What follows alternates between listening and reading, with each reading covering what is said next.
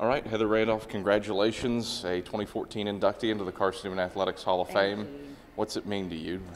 Um, it's hard to even describe. I'm, I'm incredibly humbled. Um, I am blessed beyond measure, and you know, I love Carson Newman. I love being a Lady Eagle, and it, it means so much, especially to be honored with the two ladies that, that I'm being inducted with.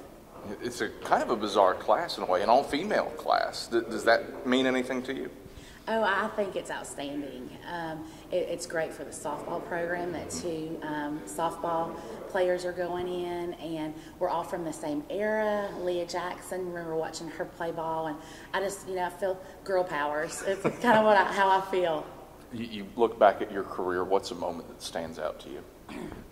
Um, I'll always remember um, when we went to the NCAA, we got that first bid, that first time. I'll always remember that, and just um, just being on the field. You know, coach coaching us as hard as she could. I, I remember everything. You, you bring up going in with uh, Leah Jackson Smith and Sammy Hatcher, now Chafin. Uh, what's it mean to you to, to go into the hall with uh, a, a fellow softball player and a player that you had some overlap with? Um, well, actually, I never got to play with her. I only spent three years Mm-hmm. here at Carson Newman, unfortunately.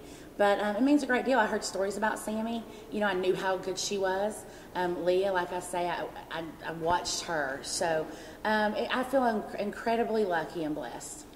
You and Sammy are already in the South Atlantic Conference Hall of Fame, and you get to welcome your head coach into that hall uh, sometime in June. Yes. While Vicky Kazee Hollifield welcomes you into the Carson Newman Hall of Fame. How neat is that?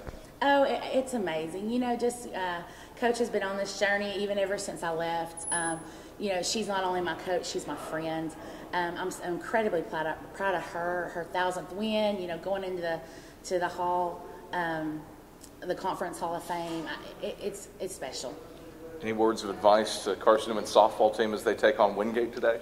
Let me tell you, I, we like to beat Wingate. so um, good luck and fight hard. Heather, congratulations. Thank you.